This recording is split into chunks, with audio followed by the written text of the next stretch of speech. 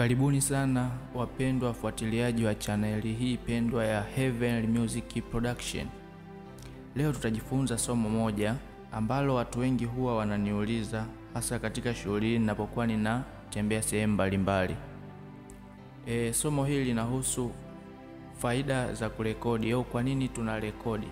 Nikiwa ninaenda sehemu mbalimbali kurekodi kwaya mikoani na sehemu mbalimbali katika Tanzania hii E, kabla ya kurekodi huwa kwa anatuambia karibu sana mwalimu. Kwa hiyo ninapokuwa ninajitambulisha, wengine wanaanza kuuliza maswali, tunaomba basi utuambie kidogo faida za kurekodi ili kwaya yetu hii tuendelee kuwa na umoja wetu. Hebu tuelezee kidogo, yani kuna faida gani kutokana na uzoefu wako? Sasa mimi kama Heavenly Music Production na ninayependa sana kufuatilia mambo na kufanya utafiti, nimekuandalia faida hizi nne kuu za kurekodi. Kwa nini kwaya irekodi? Katika faida hizi, ya kwanza kabisa, faida ya kwanza, unaporekodi unafanya uinjilishaji, kuinjilisha, evangelization. Kwaya inaporekodi inamaanisha kwanza inahubiri pale nyumbani kwake ilipo lakini pia inatoka nje ya pale ilipo, kwa sababu ile CD au flash au nyimbo zitakapokuwa zinasambaa kwa mfumo wowote, hata wa mtandao, zitaifikia dunia nzima. Zikifikia dunia nzima, ni wewe umehubiri. Kule kuhubiri haimaanishi wewe lazima uende huko ukazunguke kila nchi, uende wapi, ila kwa njia ya mtandao tunahubiri popote pale ulipo kwa njia hii ya kuimba. Umeona? Kwa kwa kufanya hivyo inakuwa inawasaidia watu wengi kubadilika maisha yao. Nyimbo zimebeba ujumbe mzuri sana, ujumbe wa kutafakari, zimebeba ujumbe wa kuinjilisha, ujumbe wa kuonya, ujumbe unaohusu kusaidia ndugu jamaa na marafiki, na ujumbe ambao unatuhimiza maisha yetu tuyabadilishe kwa ajili ya ufalme wa mbinguni. Lakini pia ukirejea maandiko kwenye hii njia ya kwanza ya kuinjilisha, ukirejea maandiko, ukisoma Isaya 48 aya 20, wanasema haya, tokeni katika Babeli, kimbieni kutoka kwa Kaldayo, hubilini kwa sauti ya kuimba, tangazeni haya, yatamkeni mpaka mwisho wa dunia, semeni Bwana amemkomboa mtumishi wake Yakobo. Umeona eh? Lakini pia tukifuata maneno ya Mtakatifu Agostino aliyesema kuimba vizuri ni kusali mara mbili. Mara nyingi kwaya nyingi wanaposikia kuhusu kurekodi huwa wanajiandaa vizuri sana, sauti zinakuwa nzuri sana.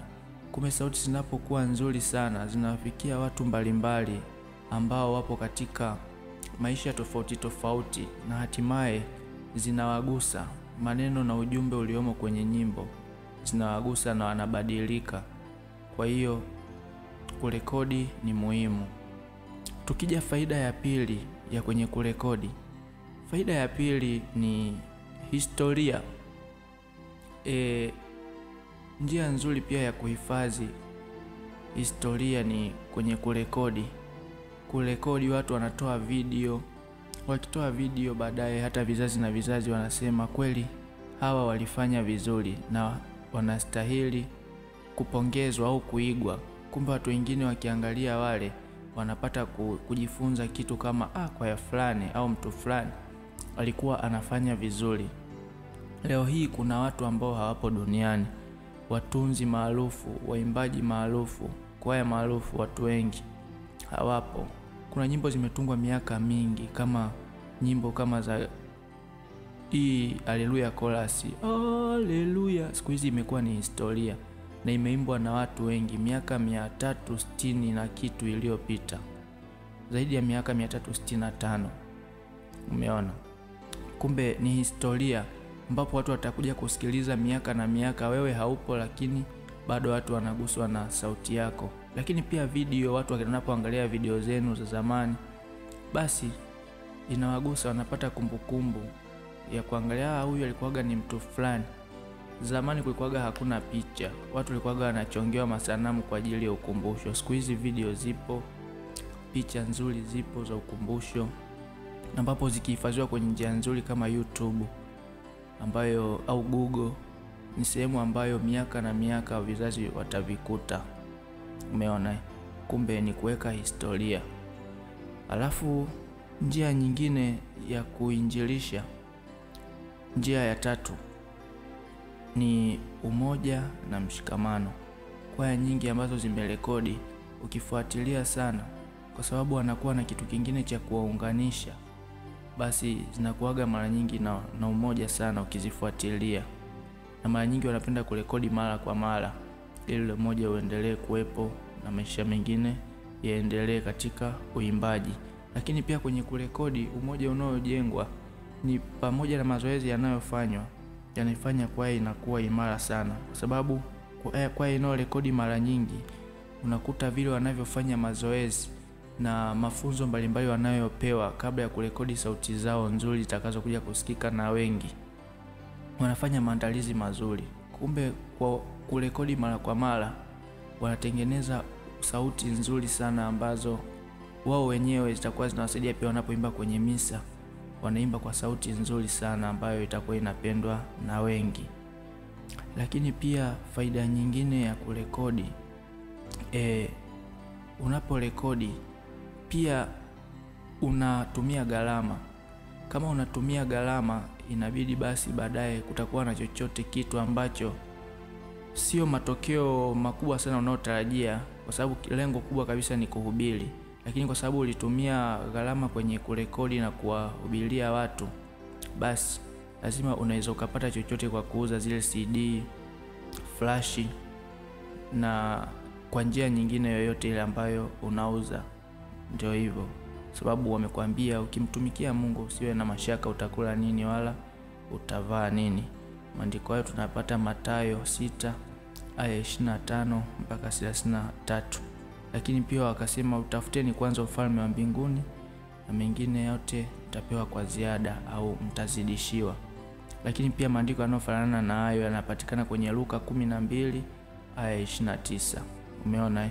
Kwa hiyo kumbe, unapoimba vizuri kwenye misa na pia mnapohubiri kwa njia ya kuimba na kurekodi nyimbo zile, zinawafikia watu wengi sana na zinawabadilisha maisha yao. Kwa hiyo wale wanaoniulizaga maswali na sehemu nyingine zote ninazoenda ku nani kurekodi kwaya, hizo ndio faida za kurekodi. Ya kwanza kabisa ni uinjilishaji, evangelization. Ya pili ni inajenga umoja na mshikamano wa kwaya. Ya tatu ni historia, inaweka historia nzuri vizazi na vizazi, lakini pia faida ya nne inakupatia chochote kitu, japo sio mategemeo makubwa, sio biashara sana kama zilivyo kazi nyingine, lakini kuna chochote kitu utakipata kama utaimba vizuri na utawekeza vizuri, watu tu wataona, watawasaidia. Na jambo lingine ambalo ni faida pia kwenye kurekodi, unaporekodi, kwa sababu nyimbo zenu zitafikia watu wengi, basi watu watapata cha kujifunza.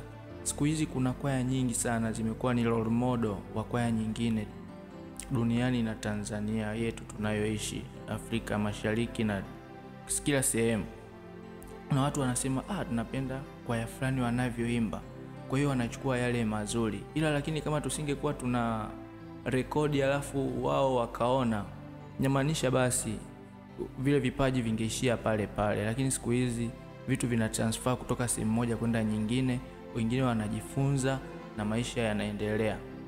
Umeona eh?